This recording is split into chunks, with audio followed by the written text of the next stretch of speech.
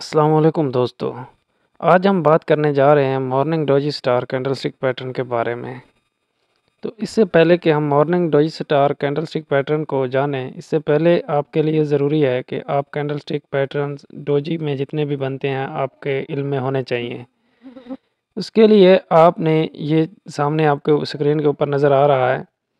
ये आप देखें, इस तरह की कैंडल जिसके ऊपर और नीचे वाली वीक बराबर होती है और दरमियान में इनडिसीजन कैंडल होती है। इसे हम कामन डोजी कैंडल कह सकते हैं।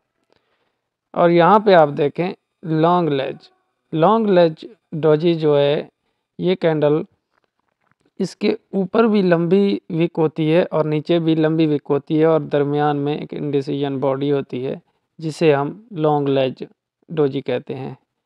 अब इसके बाद आप ड्रैगन फ्लाई डोजी देखिए। ड्रैगन फ्लाई डोजी में ऊपर की साइड में एक छोटी सी इंडिसीजन बॉडी होती है और नीचे की जानब लॉन्ग विक होती है। और एंड पे आपको ग्रेव स्टोन डोजी दिखाएँ। यहाँ पे आप देखें कि नीचे की जानब जो है, इस पे एक बॉडी है इंडिसीजन और ऊपर की तरफ़ एक लॉन्ग विक होती है। तो ये सब आपके इल्म में होने चाहिए। आज हमारा जो टॉपिक है, वो है morning star doji candlestick pattern. तो अभी मैं आपको यहाँ पे दिखा देता हूँ कि morning star doji candlestick pattern जो है, वो किस तरह फॉर्म होता है मार्केट में और कहाँ पे फॉर्म हो सकता है और उससे आप किस तरह बेनिफिट ले सकते हैं। तो सबसे पहले आप यहाँ पे देखें मार्केट स्ट्रॉन्ग डाउन ट्रेंड में चल रही होगी और एक long body bearish candle form होगी, जो फर्दर डाउन ट्रेंड को कंफर्म करेगी। लेकिन यहाँ पे क्योंकि सपोर्ट लेवल के करीब ये बन रहा होगा। तो यहाँ पे एक डोजी कैंडल जो है वो फॉर्म हो जाएगी इस सपोर्ट लेवल के करीब। यहाँ पे एक सपोर्ट लेवल है, इसके करीब एक डोजी कैंडल फॉर्म हो जाएगी, जो कि इनडिसीजन होगी मार्केट में। इनडिसीजन कैंडल इसको कहते हैं कि मार्केट का कोई फ़ैसला नहीं हो सकता, लेकिन यहाँ पे ये एक चीज़ को ज़ाहिर करती है कि यहाँ पे बेरिश रुझान जो है वो कम हो रहा है मार्केट में। इसके साथ ही अगली कैंडल जो फॉर्म होगी वो एक long body bullish candle form हो जाएगी, जो इसके हाई से ऊपर क्लोज हो जाएगी या इसके हाई के करीब क्लोज हो जाएगी।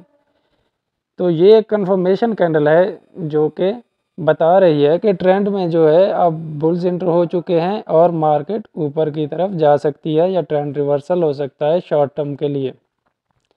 अब यहाँ पे जो कैंडल फॉर्म हो गया, ये तीन कैंडल का, हम इसे doji morning star candlestick pattern कहते हैं। तो यहाँ पे जब भी आपने एक चीज़ को लाजमी याद रखना है, अपने जहन में रखें कि जब भी ये पैटर्न बनेगा, सपोर्ट लेवल के करीब ही बनेगा। सपोर्ट लेवल के अलावा आपने इसके ऊपर ट्रेड नहीं लेनी। जब सपोर्ट लेवल आप मद्देनज़र रखते हुए ऐसा पैटर्न देखते हैं तो आप ट्रेड ले सकते हैं। इसको ट्रेड करने के लिए आप जो है यहाँ पे इंट्री लेंगे जहाँ पे इस, ये कैंडल ब्रेक होगी। यहाँ पे ये कैंडल क्लोज हो रही है। यहाँ पे आप इंट्री लेंगे और ये डोजी कैंडल के नीचे आपका स्टॉप लॉस होगा। और आप अपने रिस्क रिवार्ड रेशो के हिसाब से टीपी लगा सकते हैं। रिस्क रिवार्ड रेशो मैं हर वीडियो में बताता हूँ, वो आप जाकर दूसरी वीडियोस में देख सकते हैं कि आपने रिस्क रिवार्ड रेशो किस तरह मेंटेन रखनी है। तो अभी चलते हैं चार्ट पर, जहाँ पे मैं आपको कुछ एग्जांपल्स दिखाता हूँ कि आपने कहाँ पे ट्रेड करना है और कहाँ पे ट्रेड नहीं करना। तो अभी आप समझने की चीज़ यहाँ पे है, यहाँ पे आपने बहुत गौर से सुनना है।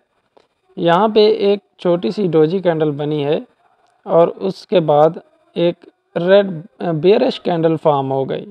इसका मतलब है कि ये कंफर्मेशन नहीं दे रही कि मार्केट का रुझान ऊपर की तरफ़ जा सकता है या नहीं जा सकता।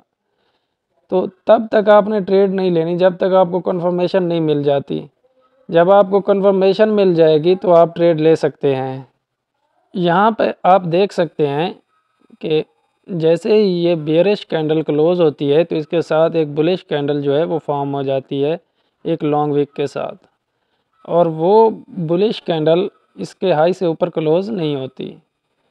तो आप देख सकते हैं, यहाँ पे भी आपने ट्रेड नहीं लेनी।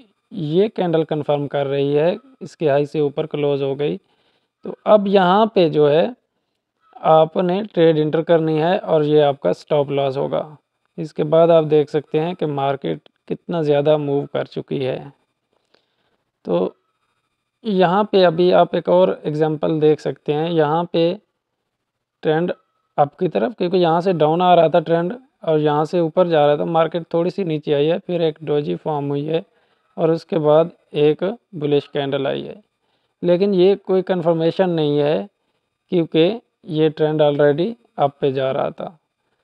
तो इस तरह की ट्रेड आपने नहीं लेनी।